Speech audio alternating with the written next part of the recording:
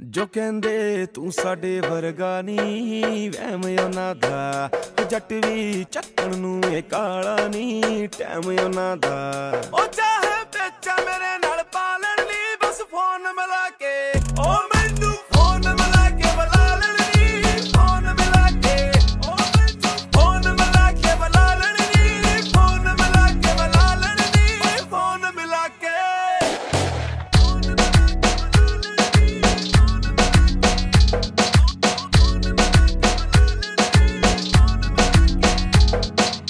ਹੁਣ ਤੱਕ ਜੱਟ ਨੇ ਕਰਿਆ ਕੀ ਬਦਮਾਸ਼ੀ ਕੀਤੀ ਆ?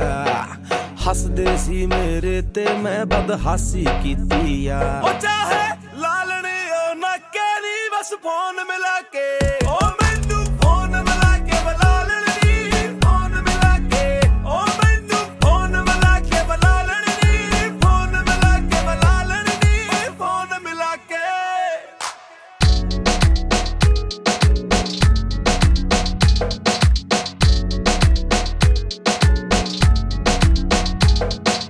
ਪਿੰਡ ਨਹੀਂ ਰਹਿੰਦਾ, ਸ਼ਹਿਰ ਮੁਹਾਲੀ ਡੇਰਾ ਜੱਟ ਦਾ ਨਾ ਪੁੱਛ ਲਈ ਜੱਟ ਨੂੰ ਜਾਣਦਾ ਨਹੀਂ ਨਾ ਕਿਹੜਾ ਜੱਟ ਦਾ ਜੋ